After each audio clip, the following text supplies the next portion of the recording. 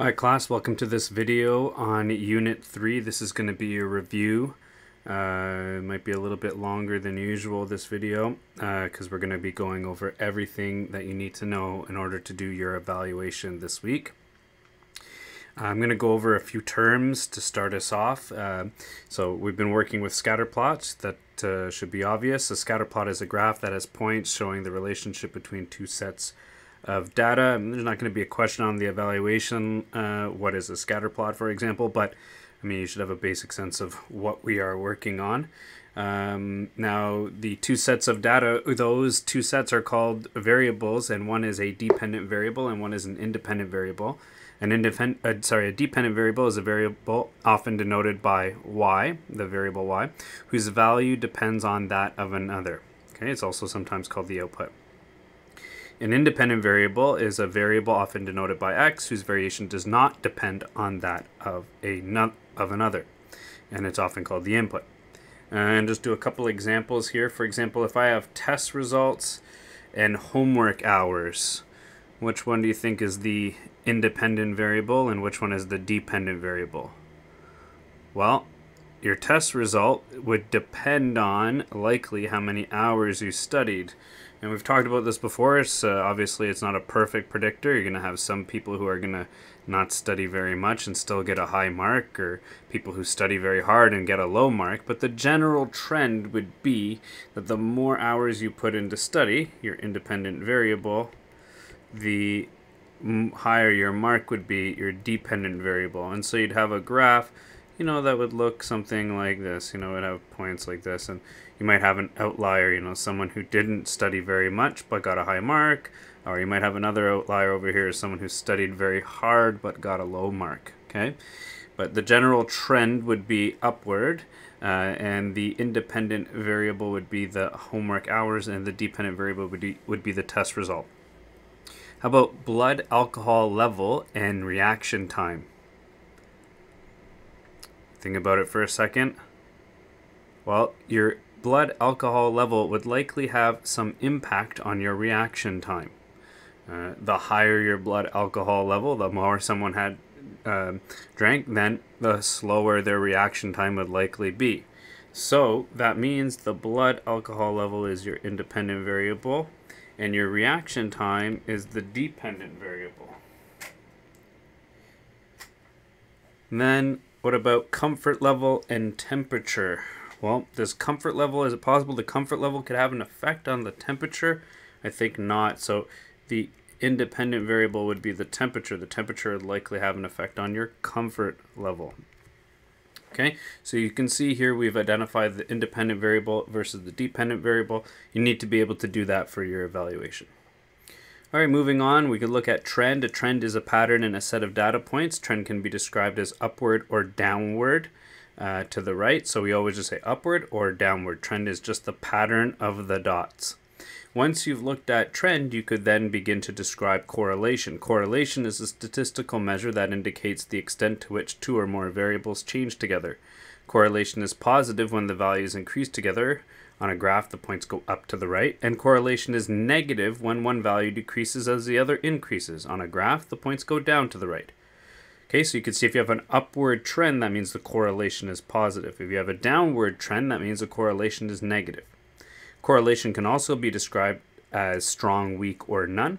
Correlation can also be described as linear, if the data points roughly form a straight line, or nonlinear if the data points do not roughly form a straight line. From the trend, as I mentioned, you can describe the correlation. And here you can see three examples.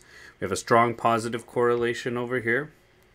The line, the points are going up to the right, forms roughly a straight line. This would definitely uh, be a linear, a linear.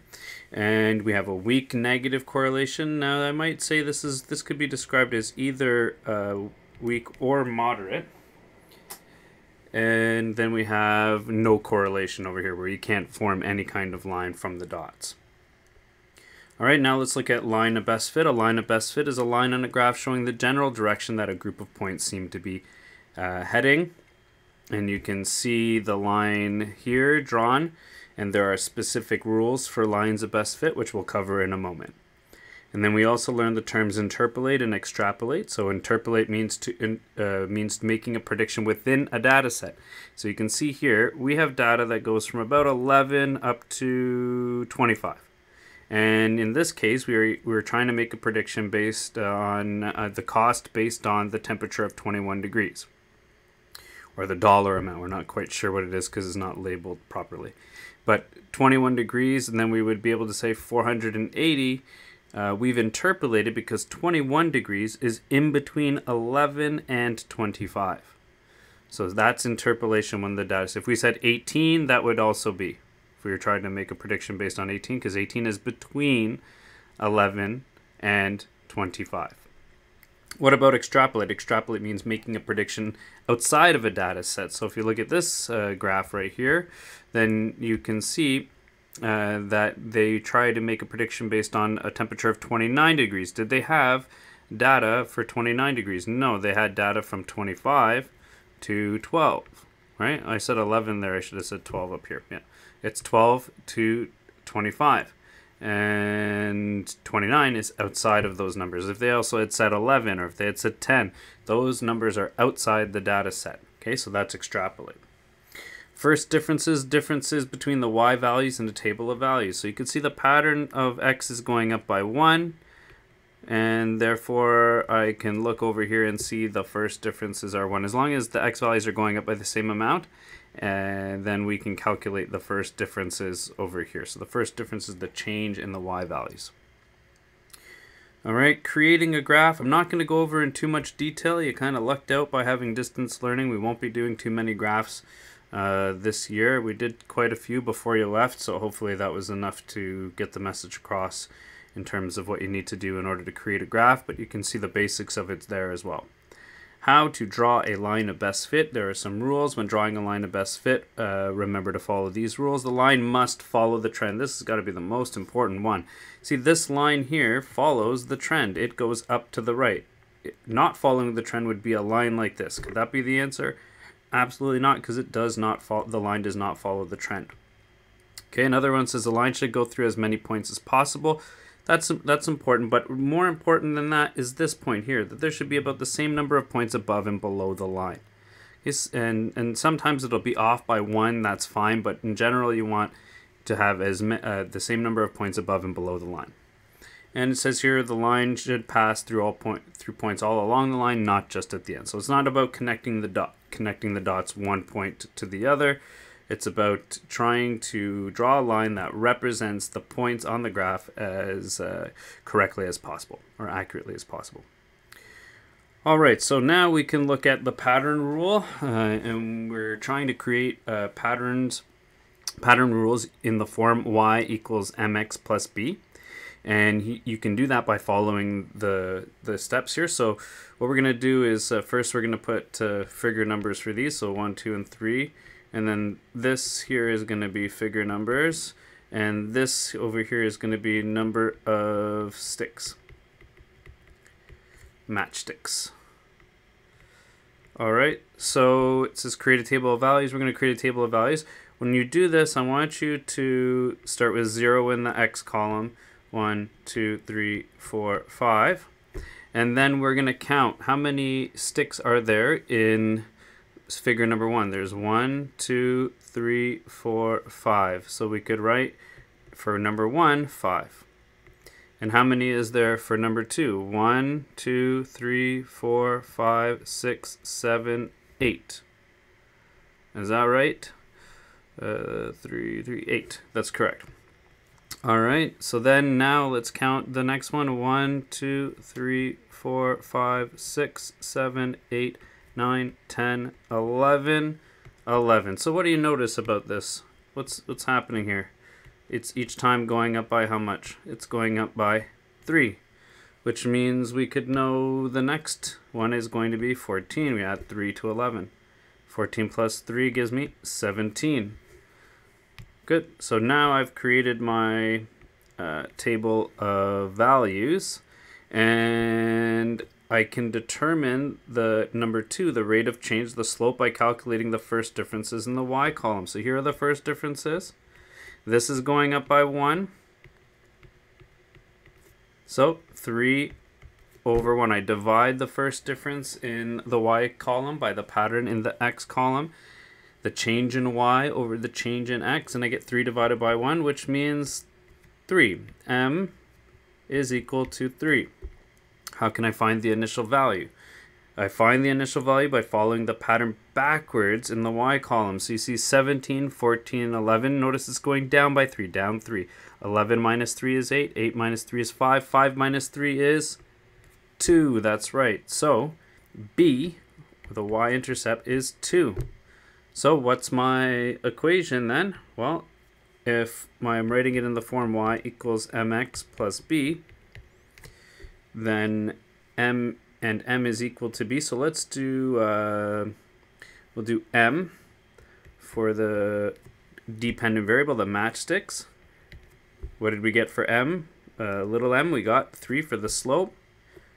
And we'll do f for the figure number plus what was our y-intercept, our, our initial value? It was 2. And so this is our equation.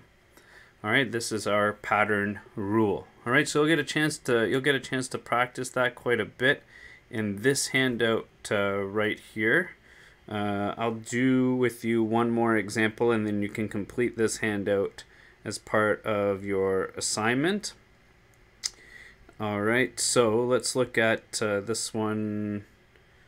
Uh, let's do, yeah, we'll do this one here. It says here, examine the pattern, this pattern of connected squares creating, uh, created using toothpicks. It's to sketch the next two terms above. So if you see we're counting the number of boards or toothpicks, I guess this should say uh, toothpicks.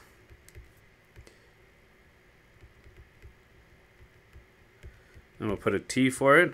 And this first one has 4, and this one has 7, and this one has 10, and this one has 13, right? How did I how did I know that? Because this had 4, and then this added just 3 more, right? And then this just added 3 more, and then this just added 3 more. So it went up by 3 each time. And if we were counting the boxes, it was 1 box, 2 box, 3 box, 4 box. So this is going to be five boxes and that's going to be 16 and this is going to be six boxes. And this is going to be 19 all right six. Good thing I can count.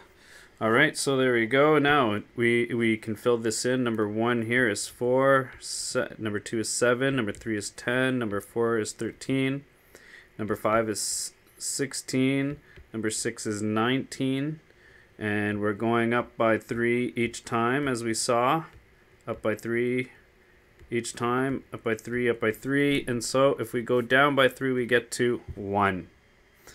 All right, so now what is the equation of the uh, pattern? We're, we're going to skip the uh, graph for now. Um, actually, let's do it really quick, really quickly, since this is a simple enough one to do. We'll do the y column is going to be the number of tooth, or the y axis is the number of toothpicks,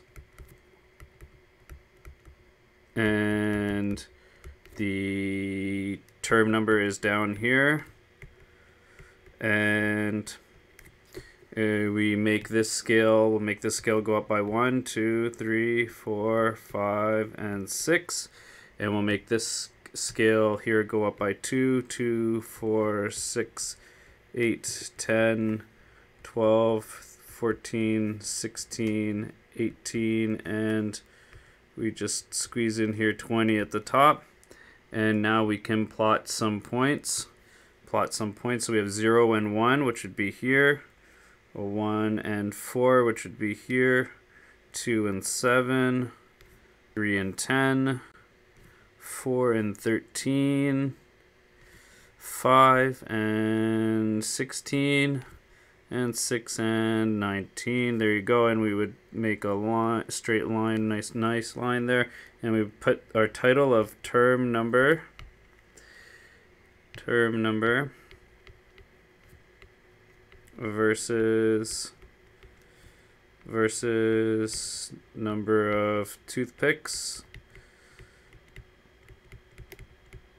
All right, and there you go. That's how you would make that uh, graph. And you just need to be able to recognize the relationship between the graph and the table of values for the purpose of your evaluation. All right, now we can look at the equa- the the pattern. So if you recall, we want to first find the rate of change, uh, which is the slope m. And in this case, it's the same as the other example we just did. This is going up by 1 each time and this is going up by 3. So m is 3 divided by 1 and gives us 3. That's our slope. So our slope is 3. And what's our y-intercept, our, or our initial value? Our initial value is right here. It's the value of y when x is equal to 0. Uh, we figured that out moments ago, and so that's b. b is equal to 1. So what's our equation in the form y, y equals mx plus b? Well, we could do t is equal to 3 uh, n plus 1 there's your there's your equation okay? So i want you to now do the rest of this uh, handout on your on your own. Uh, it's in the attachment with the assignments and you're going to be submitting that later on. All right uh, i think that's uh, that's about it for now. And what I'll do is I'll post an answer key for the practice quiz. And then that way you can check and make sure that you're doing it correctly. And if you have any questions, be sure to ask. Uh, hopefully this video helps and prepares you. Make sure you watch it several times if you need to uh, and ask questions if you have any.